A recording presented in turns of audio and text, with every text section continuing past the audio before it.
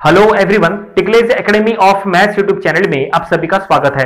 आज के वीडियो में मैट्रिसेस ये यूनिट को हम आगे बढ़ाएँगे और आज हम इसमें रैंक ऑफ़ मैट्रिक्स ये टॉपिक का फ़र्स्ट प्रॉब्लम सॉल्व करेंगे। वैसे इसके पहले भी हमने मैट्रिसेस के काफ़ी सारे प्रॉब्लम सॉल्व किए थे। उसी के साथ साथ मैथमेटिक्स के दूसरे टॉपिक्स भी कवर किए थे तो इसके पहले के सभी प्रॉब्लम्स और सभी टॉपिक स्टडी करने के लिए आज के वीडियो के डिस्क्रिप्शन में जाइए। वहाँ पे आपको इसके पहले के सभी टॉपिक्स के प्लेलिस्ट का लिंक मिल जाएगा। वो लिंक पे क्लिक करके आप आसानी से इसके पहले के सभी वीडियोस देख सकते हैं। तो चलिए, आज का लेक्चर स्टार्ट करते हैं। आज हमें रैंक ऑफ़ मैट्रिक्स का फ़र्स्ट प्रॉब्लम सॉल्व करना है। तो देखिए, जो प्रॉब्लम आज हमें सॉल्व करना है, वो आपके सामने है। क्वेश्चन में क्या लिखा है, हम पढ़ेंगे। Find the rank of the following matrix यहाँ पे एक मैट्रिक्स दिया है थ्री बाई थ्री का। ये मैट्रिक्स का हमें रैंक फाइंड आउट करना है। अब आपको रैंक क्या होता है वो पता होना चाहिए। तो इसका डेफिनेशन काफ़ी आसान है। Number of non zero row in matrix is called rank of a matrix इसका मतलब पर्टिकुलर मैट्रिक्स में कितने नॉन ज़ीरो रो है, वो चेक करना, इसका मतलब रैंक चेक करना। तो चलो देखते हैं, इसको एग्ज़ाम्पल के थ्रू आपको समझा के देते हैं। जैसे कोई मैट्रिक्स है, जैसे मैट्रिक्स ए अगर हम यहाँ मैट्रिक्स लिखेंगे one three three zero zero zero one two zero ये देखिए, ये हमने एक मैट्रिक्स लिखा है। हमें ये मैट्रिक्स का रैंक अगर आपको पता करना है तो इसका रैंक पता करना काफ़ी आसान है। यहाँ पे आपको नॉन ज़ीरो रो कितने हैं, बस वो चेक करना है। नॉन ज़ीरो रो इसका क्या मतलब है? देखिए, यहाँ पे सबसे पहले देखो कितने रो है। यहाँ पे थ्री रोज है और थ्री कॉलम्स है। इसका जो ऑर्डर है, वो है थ्री बाई थ्री इसका मतलब ये देखिए, यहाँ पे हम ऑर्डर अगर लिखे तो इसका ऑर्डर थ्री बाई थ्री है। इसका मतलब इसमें थ्री रोज है और इसमें थ्री कॉलम्स हैं। लेकिन यहाँ पे जो थ्री रोज है, उसमें कितने नॉन ज़ीरो रो है, वो चेक करो। नॉन ज़ीरो रो मतलब सभी एलिमेंट्स अगर ज़ीरो नहीं है तो ही वो नॉन ज़ीरो रो कहलाएगा। इसका क्या अर्थ है? देखिए, यहाँ पे सभी एलिमेंट ज़ीरो है क्या? नहीं है। इसका मतलब ये एक नॉन ज़ीरो रो है। ओके यहाँ पे सभी एलिमेंट ज़ीरो है क्या? यस बिल्कुल है। ये सेकंड रो में सभी एलिमेंट्स ज़ीरो है। इसका मतलब ये एक ज़ीरो रो है.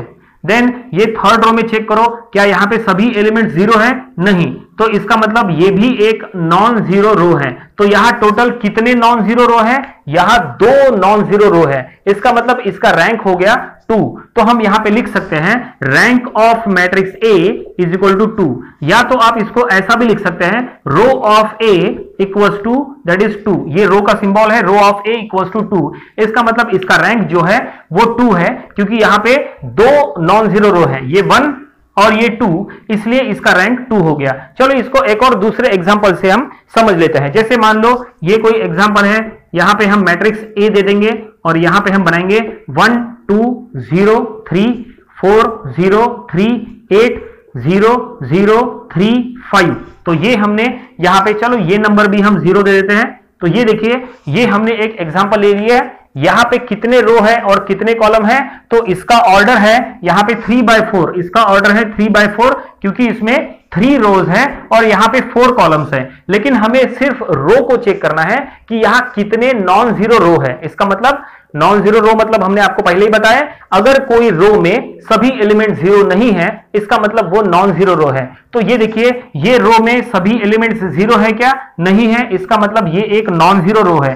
तो फाइनली ये एक नॉन ज़ीरो रो है। ओके ये एलिमेंट में सभी एलिमेंट ज़ीरो है क्या? नहीं है। इसका मतलब ये भी एक नॉन ज़ीरो रो है। और ये एलिमेंट में सभी एलिमेंट ज़ीरो है क्या? नहीं, सिर्फ़ तीन एलिमेंट ज़ीरो है। एक एलिमेंट ज़ीरो नहीं है। इसका मतलब सभी एलिमेंट ज़ीरो नहीं है। इसका मतलब ये भी एक नॉन ज़ीरो रो है। इसका मतलब यहाँ पे टोटल नॉन ज़ीरो रो की संख्या कितनी है? थ्री है। देखिए वन टू थ्री तीन नॉन ज़ीरो रो है। इसका मतलब इसका रैंक हो गया थ्री तो यहाँ पे हम लिखेंगे rank of matrix A is three और यहाँ पे हम ऐसा भी लिख सकते हैं row of matrix A that is three तो फाइनली यहाँ पे हमने आपको बता दिए कि रैंक कैसे चेक करना, आपको नॉन ज़ीरो रो की संख्या चेक करना है तो आपको रैंक का पता चल जाएगा। लेकिन ये जो मैट्रिक्स है, ये मैट्रिक्स का ऑर्डर डिफरेंट डिफरेंट हो सकता है। यहाँ पे थ्री बाई थ्री मैट्रिक्स हो सकता है फोर बाय फोर मैट्रिक्स हो सकता है, थ्री बाय फोर मैट्रिक्स हो सकता है, फोर बाय थ्री मैट्रिक्स हो सकता है।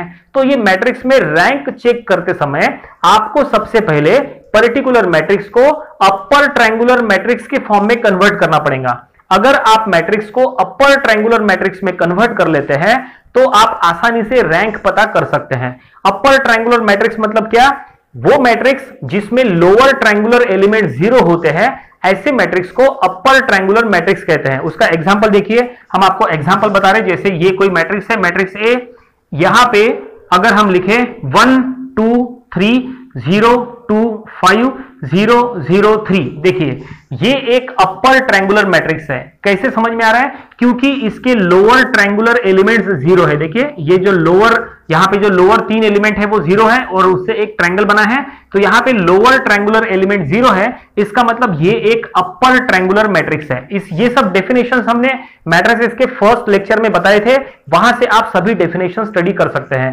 तो अपर ट्रायंगुलर मैट्रिक्स क्या है, वो तो हमने यहाँ बता दिए। लेकिन रैंक ऑफ़ मैट्रिक्स के प्रॉब्लम जो आगे चल के हमें सॉल्व करना है, उसमें कभी कोई मैट्रिक्स थ्री बाय थ्री का हो सकता है या थ्री बाय फोर का हो सकता है, या फोर बाय थ्री का हो सकता है, या फोर बाय फोर का हो सकता है तो आपको यह पता होना चाहिए कि ऑर्डर के अकॉर्डिंग पर्टिकुलर मैट्रिक्स को अपर ट्रायंगुलर मैट्रिक्स में कन्वर्ट करते समय कौन से कौन से पोजीशन पे ज़ीरो होता है, ये आपको पता होना चाहिए। जैसे हमें ये प्रॉब्लम को सॉल्व करना है, ये एक थ्री बाई थ्री मैट्रिक्स है तो थ्री बाई थ्री मैट्रिक्स को आप इसको अपर ट्रायंगुलर मैट्रिक्स में कन्वर्ट करेंगे तो आपको पता है कि आपको ये तीन एलिमेंट ज़ीरो करना है। आपको ये तीन एलिमेंट ज़ीरो करना है, ये आपको पता है। लेकिन आगे चल के अगर मैट्रिक्स का ऑर्डर चेंज होता है तो ज़ीरो का पोजीशन कैसे चेंज होता है, वो सुनिए। वो हम यहाँ बता रहे हैं। बहुत ही इंपॉर्टेंट है, आप यहाँ पे ध्यान देंगे। अगर आपके पास ये नहीं लिखा हुआ है तो आप याद से लिख के रखो। देखो थ्री बाई थ्री मैट्रिक्स का, वो तो हमने आपको बता दिए, फिर भी हम आपको यहाँ पे सभी मैट्रिक्स का एक बार बता देते हैं। ये हम यहाँ पे थ्री बाई थ्री मैट्रिक्स के लिए लिखेंगे देन हम यहाँ पे that is four by four matrix के लिए लिखेंगे देन हम यहाँ पे that is three by four matrix के लिए लिखेंगे। सभी ऑर्डर के लिए हम आपको बता रहे हैं कि कहाँ कहाँ पे ज़ीरो होना चाहिए। और देन नेक्स्ट हम यहाँ पे लिखेंगे फोर बाय थ्री मैट्रिक्स के लिए हम यहाँ पे लिखेंगे। तो थ्री बाय थ्री मैट्रिक्स है तो यहाँ पे नाइन एलिमेंट्स होते हैं, ये तो कंफर्म है, ठीक है? फोर बाय फोर में यहाँ पे सिक्सटीन एलिमेंट्स होते हैं, ये देखिए फोर बाय फोर में सिक्सटीन एलिमेंट्स यहाँ पे होते हैं। और अब थ्री बाय फोर में यहाँ पे थ्री रोज रहेंगे और फोर कॉलम्स रहेंगे। तो ये देखिए, ये थ्री रोज और ये फोर कॉलम्स जो है, वो ऐसे दिए रहेंगे। और ऐसे में इसमें कहाँ कहाँ पे ज़ीरो होता है वो हम बताएँगे। और फोर बाय थ्री में यहाँ पे फोर रोज रहेंगे और थ्री कॉलम्स रहेंगे। देखिए, यहाँ पे फोर रोज हमने ले लिए और थ्री कॉलम्स ले लिए। तो अब आप ध्यान देंगे कि कहाँ कहाँ पे ज़ीरो होना चाहिए, वो आप नोट पैड में लिख के रखो, बहुत इंपॉर्टेंट है। देखो, अगर थ्री बाय थ्री का है तो हमने आपको पहले ही बता दिए थ्री बाय थ्री मैट्रिक्स में ये तीन ये तीन प्लेस पे ज़ीरो होना चाहिए। देखिए, ये तीन प्लेस पे ज़ीरो होना चाहिए तो वो अपर ट्रायंगुलर मैट्रिक्स है। फोर बाय फोर में देखिए, ये प्लेस पे ज़ीरो होना चाहिए, ये तीन प्लेस ये तीन प्लेस और ये। तो वो अपर ट्रायंगुलर मैट्रिक्स होगा। थ्री बाय फोर में ये ज़ीरो होना चाहिए, देखिए, ये ज़ीरो होना चाहिए। तो जो है, ये अपर ट्रायंगुलर मैट्रिक्स हो जाएगा। और लास्ट में ये जो फोर बाय थ्री है, इसमें यहाँ पे ज़ीरो होना चाहिए। देखिए, ये प्लेस पे ज़ीरो होना चाहिए तो फाइनली वो अपर ट्रायंगुलर मैट्रिक्स बन जाएगा। तो यहाँ पे हमने ये सब कुछ जो बताया है, ये बहुत इंपॉर्टेंट है। अब हमें मैट्रिक्स के जितने भी रैंक ऑफ़ मैट्रिक्स के प्रॉब्लम सॉल्व करना है, उसमें डिफरेंट डिफरेंट ऑर्डर के अगर मैट्रिक्स आएँगे तो किस तरह से, कहाँ कहाँ पे ज़ीरो होना चाहिए, वो हमने आपको बता दिया अब इसका यूज़ करके हम प्रॉब्लम सॉल्व करेंगे। तो चलो, आज का प्रॉब्लम सॉल्व करेंगे। यहाँ पे लिखा है क्वेश्चन में find the rank of matrix हमें ये मैट्रिक्स का रैंक फाइंड आउट करना है। और ये मैट्रिक्स का यहाँ पे ऑर्डर क्या है? इसका ऑर्डर है थ्री बाई थ्री और जैसा हमने कहा था कि अगर आपको इसका रैंक फाइंड आउट करना है तो इसको अपर ट्रायंगुलर मैट्रिक्स के फॉर्म में कन्वर्ट करना पड़ेगा। और अगर इसको अपर ट्रायंगुलर मैट्रिक्स के फॉर्म में कन्वर्ट करना है, इसका मतलब इसके लोअर ट्रायंगुलर एलिमेंट्स ज़ीरो लेके आना है। देखिए लोअर ट्रायंगुलर एलिमेंट ज़ीरो लेके आना है मतलब ये तीन प्लेस पे ज़ीरो लेके आना है। देखिए, यहाँ पे ज़ीरो लेके आना है देन यहाँ पे ज़ीरो लेके आना है और यहाँ पे ज़ीरो लेके आना है। अगर ये तीन प्लेस पे ज़ीरो आ गया तो ये अपर ट्रायंगुलर मैट्रिक्स बन जाएगा। तब हम इसका रैंक चेक करेंगे। तो ये गिवन मैट्रिक्स को हम मैट्रिक्स ए कहेंगे तो हम यहाँ लिखेंगे matrix A that is one three five two minus one four और माइनस टू एट और टू और हमने जैसा कहा था कि आपको तीन प्लेस पे ज़ीरो लेके आना है। यहाँ पे ज़ीरो आना चाहिए, यहाँ पे ज़ीरो आना चाहिए और यहाँ पे ज़ीरो होना चाहिए। और ये लाने के लिए हम यहाँ पे रो ट्रांसफॉर्मेशन मेथड का यूज़ करेंगे। रो ट्रांसफॉर्मेशन मेथड ये कैलकुलेशन का यूज़ करके आप आसानी से यहाँ ज़ीरो ला सकते हैं। कैसे लाएँगे? देखिए, यहाँ पे तीन रो है तो ये है रो वन ये है रो टू और ये है रो थ्री तो हमें यहाँ पे रो ट्रांसफॉर्मेशन मेथड कैसे यूज़ करना है देखिए। हमें यहाँ पे ज़ीरो लाना है। इसका मतलब सेकंड रो में हमें यहाँ ज़ीरो लाना है। तो हम यहाँ पे इक्वेशन क्या बनाएँगे देखिए। हमें सेकंड रो में लाना है तो आर टू इक्वल्स टू यहाँ पर हम लिखेंगे R two minus two of R one देखिए, यहाँ पे टू है। अगर आप यहाँ पे टू ला लेंगे तो टू माइनस टू ज़ीरो हो जाएगा। लेकिन यहाँ पे टू है क्या? नहीं है। तो यहाँ पे टू लाने के लिए इसको टू से मल्टीप्लाई करना पड़ेगा। इसका मतलब ये रो वन को टू से मल्टीप्लाई करना पड़ेगा। रो वन को टू से मल्टीप्लाई करके इसमें से सब्सट्रैक्ट कर लो तो ज़ीरो आ जाएगा। तो हमने यहाँ वही लिखा है R two minus two of R one ठीक है? ये देखिए फ़र्स्ट रो को टू से मल्टीप्लाई कर रहे हैं और उसको सेकंड रो में से माइनस कर रहे हैं तो वहाँ पे ज़ीरो आ जाएगा। उसी तरह से यहाँ पे भी आपको ज़ीरो चाहिए। तो अगर आपको यहाँ ज़ीरो चाहिए, इसका मतलब थर्ड रो में ज़ीरो चाहिए तो थर्ड रो में ज़ीरो लाने के लिए यहाँ पे क्या करना पड़ेगा? यहाँ पे ज़ीरो लाने के लिए फ़र्स्ट रो को फिर से टू से मल्टीप्लाई करना पड़ेगा और इसमें ऐड करना पड़ेगा। तो हम यहाँ लिखेंगे R three plus two into R one देखिए, ये जो स्टेप है, ये काफ़ी इंपॉर्टेंट है। रो ट्रांसफॉर्मेशन मेथड में हमेशा इसी टाइप की इक्वेशंस आपको तैयार करना होता है। रो का रो के साथ आपको कैलकुलेशन करना है, या तो प्लस करना है, या तो माइनस करना है। डिपेंड करता है कि आपको क्या चाहिए रिज़ल्ट में? तो देखिए, हमें यहाँ पे ज़ीरो चाहिए तो हमने क्या किए? टू माइनस टू किए तो यहाँ पे ज़ीरो आ जाएगा। इस तरह का कैलकुलेशन हमें टू माइनस टू करना है, इसलिए हमने ये लिखे। और यहाँ पे भी हमें ज़ीरो चाहिए तो यहाँ पे माइनस टू है, यहाँ पे माइनस टू है, यहाँ पे हम प्लस टू लेके आएँगे। तो माइनस टू प्लस टू करेंगे तो ज़ीरो हो जाएगा, और यहाँ प्लस टू करने के लिए इसको टू से मल्टीप्लाई करेंगे। तो देखो रो वन को टू से मल्टीप्लाई करके उसको रो थ्री में ऐड करो तो यहाँ पे ज़ीरो आ जाएगा। चलो देखते हैं कैसे? तो यहाँ पे ध्यान देंगे, अगर आपको डाउट है तो यहाँ पे क्लियर हो सकता है। देखिए, हम क्या कर रहे हैं? रो टू और रो थ्री के लिए सॉल्व कर रहे हैं। रो वन के लिए सॉल्व कर रहे हैं क्या? नहीं। तो रो वन जो है वो एज इट इज़ रहेगा। वन थ्री फाइव देखिए रो वन जो है वो एज इट इज़ है। रो वन में कोई चेंजेस नहीं है, क्योंकि आप सिर्फ़ रो टू और रो थ्री के लिए सॉल्व कर रहे हैं। तो चलो अब फाइनली रो टू का कैलकुलेशन यहाँ पे लिखते हैं रो टू में क्या क्या एलिमेंट्स है वो हम देखेंगे। तो यहाँ पे क्या करना है? Row two equal to row two minus two into row one तो यहाँ पे आपको क्या करना है? ये टू यहाँ पे पुट करना है माइनस टू इंटू ये वन यहाँ पे पुट करना है, ठीक है? तो यहाँ पे क्या होगा? टू माइनस यहाँ पे टू इंटू वन तो वो हो जाएगा टू माइनस टू तो ये हो गया ज़ीरो ठीक है? इसका मतलब हम क्या कर रहे हैं? रो वन को टू से मल्टीप्लाई करके इसमें से सब्सट्रैक्ट कर रहे हैं। तो two minus two zero then minus one minus six हो जाएगा ये। माइनस वन माइनस सिक्स कितना? माइनस सेवन ठीक है? हमने क्या किए? ये माइनस वन यहाँ पुट किए और ये थ्री हमने यहाँ पुट किए। ठीक है? हमने ये माइनस वन यहाँ पुट किए तो क्या हो गया? ये हो गया minus one minus two into ये थ्री हमने यहाँ पुट किए तो ये ऐसा हो गया। तो minus one into minus six तो माइनस वन माइनस सिक्स कितना? माइनस सेवन इसलिए हमने यहाँ लिखे माइनस सेवन ठीक है? और अब नेक्स्ट एलिमेंट के लिए हम देखेंगे। अब ये फोर और फाइव तो फोर जो है वो रो टू का एलिमेंट है, वो यहाँ रखो, और फाइव जो है, वो रो वन का एलिमेंट है, वो यहाँ रखो। तो फोर यहाँ रखेंगे तो हो जाएगा four minus two into five हम यहाँ रखेंगे तो इंटू फाइव तो ये क्या होगा? That is four minus four minus ten four minus ten कितना? दैट इज़ माइनस सिक्स तो ये हम लिखेंगे माइनस सिक्स ओके और अब नेक्स्ट रो थ्री के लिए हमें यहाँ पे सॉल्व करना है। रो थ्री का, यहाँ पे देखते हैं रो थ्री के एलिमेंट्स क्या आते हैं। बिल्कुल इसी टाइप का कैलकुलेशन हमें करना है। तो यहाँ पे देखो इक्वेशन क्या है? Row three plus two into row one तो यहाँ पे रो थ्री के एलिमेंट्स हमें यहाँ रखना है और उसके रिस्पेक्टिव रो वन के एलिमेंट्स हमें यहाँ रखना है। ठीक है? तो देखो क्या होगा? यहाँ पे माइनस टू यहाँ रखो तो ये होगा minus two plus two into row one का एलिमेंट क्या है? वन है। तो ये माइनस टू प्लस टू कितना? ज़ीरो तो ज़ाहिर सी बात है, ये ज़ीरो होना तय है, क्योंकि हमने आपको पहले ही कहा था, हमें उसको ज़ीरो करना है। और अब नेक्स्ट ये एट यहाँ रखो और इसका रिस्पेक्टिव ये जो एलिमेंट है थ्री वो यहाँ रखो, ठीक है? तो ये क्या होगा? एट यहाँ पे आया, ठीक है? देन ये थ्री हम यहाँ लिखेंगे तो ये होगा प्लस टू इंटू थ्री तो ये कितना होगा?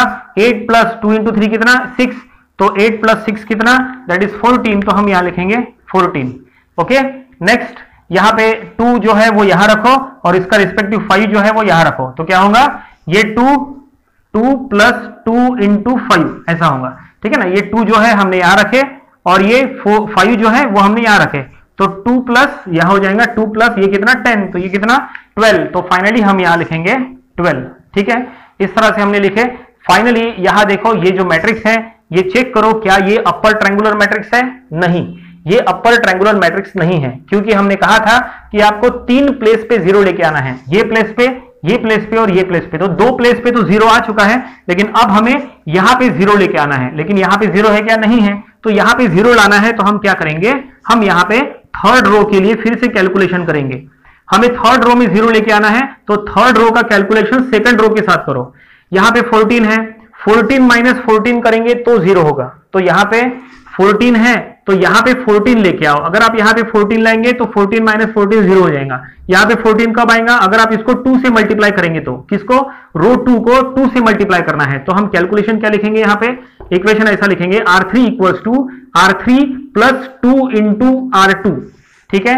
हमने इसको ऐसा लिखे। और अब देखते हैं इसका जो फाइनल मैट्रिक्स है वो क्या बनेगा। हम रो थ्री के लिए सॉल्व कर रहे हैं। तो रो थ्री में सिर्फ़ चेंजेस होंगे रो वन और रो टू जो है वो एज इट इज़ रहेंगे। तो देखो रो वन हम एज इट इज़ लिखेंगे वन थ्री फाइव और zero minus seven minus six देखिए, ये रो वन और रो टू हमने एज इट इज़ लिखे, जो यहाँ पे लिखा है। बस रो थ्री में चेंजेस होंगे।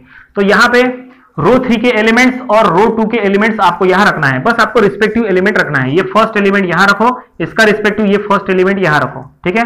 तो ये होगा ज़ीरो प्लस ज़ीरो तो ये होगा पहला एलिमेंट ज़ीरो देन यहाँ पे 14 यहाँ रखो, इसका रिस्पेक्टिव ये 7 माइनस सेवन यहाँ रखो। तो 14 यहाँ रखेंगे तो 14 plus two into minus seven ठीक है? देखो हम यहाँ पे लिख के बता रहे हैं 14 plus two into minus seven तो ये हमने टू इंटू माइनस सेवन ऐसा। तो ये कितना? 14 यहाँ पे 14 माइनस फोर्टीन कितना? ज़ीरो तो फाइनली ये हो जाएगा ज़ीरो ओके तो फाइनली हमने यहाँ पे ज़ीरो ला लिए और अब ये 12 यहाँ लिखो और इसका रिस्पेक्टिव माइनस सिक्स यहाँ लिखो। तो क्या होगा? देखो, यहाँ पे 12 आएगा तो हम लिखेंगे 12 plus two into R two के प्लेस पे क्या लिखो? माइनस सिक्स लिखो। तो ये 12 माइनस ट्वेल्व कितना हो जाएगा? ज़ीरो तो ये हो गया ज़ीरो तो फाइनली हमने ये मैट्रिक्स ए फाइंड आउट कर लिए और ये अपर ट्रायंगुलर मैट्रिक्स है। कैसे? क्योंकि इसके लोअर ट्रायंगुलर एलिमेंट्स ज़ीरो है। देखिए, ये लोअर ट्रायंगुलर एलिमेंट ज़ीरो है। इसका मतलब ये एक अपर ट्रायंगुलर मैट्रिक्स है। आप कहेंगे, सर, ये भी ज़ीरो है। ये ज़ीरो हो गया, वो होने दो, उससे कोई फ़र्क नहीं पड़ता। हमें सिर्फ़ तीन प्लेस पे ज़ीरो चाहिए थे। हमें सिर्फ़ जो है, ये प्लेस पे ज़ीरो चाहिए था। देखो, ये जो ट्रायंगल ऐसा बनता है, हमें बस वहाँ पे ज़ीरो चाहिए था, यहाँ पे ज़ीरो आ गया। तो ये मैट्रिक्स एक अपर ट्रायंगुलर मैट्रिक्स है और अब यहाँ पे हम रैंक फाइंड आउट करेंगे। और रैंक फाइंड आउट करने के लिए जैसा हमने कहा था कि यहाँ पे नॉन ज़ीरो रो कितने हैं वो चेक करो। तो यहाँ पे देखिए, ये फ़र्स्ट रो क्या यहाँ पे सभी एलिमेंट ज़ीरो है? नहीं, इसका मतलब ये एक नॉन ज़ीरो रो है। ओके अब ये सेकंड रो देखो। सेकंड रो में क्या सभी एलिमेंट ज़ीरो है? नहीं, इसका मतलब ये भी एक नॉन ज़ीरो रो है। ओके अब ये थर्ड रो देखो। थर्ड रो में सभी एलिमेंट ज़ीरो है? यस इसका मतलब ये एक ज़ीरो रो है। तो फाइनली यहाँ पे नॉन ज़ीरो रो की संख्या कितनी है? नॉन ज़ीरो रो की संख्या टू है। तो यहाँ पे हम लिखेंगे non zero non zero row कितने हैं? टू है। और यहाँ पे नॉन ज़ीरो रो टू है, इसलिए इसका रैंक जो है, वो टू हो जाएगा। तो हम लिखेंगे rank of matrix A is equal to two that is R of A is equal to two तो फाइनली हमने यहाँ पे रैंक फाइंड आउट कर लिए. क्वेश्चन में जो फाइंड आउट करने के लिए कहा था, वो हमने फाइंड आउट कर लिए. उम्मीद करते हैं कि ये आपको समझ में आया होगा. आज हमने रैंक ऑफ़ मैट्रिक्स का पहला प्रॉब्लम सॉल्व किए और रैंक क्या होता है, कैसे फाइंड आउट करना, वो पूरी तरह से हमने एक्सप्लेन किए. उम्मीद करते हैं जो कुछ भी हमने बताया है, वो सब आपको समझ में आया है. इसके पहले भी हमने मैट्रिसेस और दूसरे टॉपिक्स के काफ़ी सारे प्रॉब्लम सॉल्व किए थे. तो इसके पहले के सभी प्रॉब्लम्स और सभी टॉपिक स्टडी करने के लिए आज के वीडियो के डिस्क्रिप्शन में जाइए। वहाँ पे आपको इसके पहले के सभी टॉपिक्स के प्लेलिस्ट का लिंक मिल जाएगा। वो लिंक पे क्लिक करके आप आसानी से इसके पहले के सभी वीडियोस देख सकते हैं। आपको अगर आज का वीडियो पसंद आया है तो आप इसे लाइक करिए। अपने फ्रेंड्स जिनको इसकी ज़रूरत है, आप उनके साथ इसको शेयर करिए। कुछ डाउट्स है तो आप हमें कमेंट सेक्शन में पूछ सकते हैं। और आपने अगर अभी भी अगर हमारा चैनल सब्सक्राइब नहीं किया है तो आप इसे सब्सक्राइब करिए ताकि इसी तरह के यूजफुल वीडियोस आपको हमेशा मिलते रहे। तो मिलते हैं नेक्स्ट वीडियो में। Thank you very much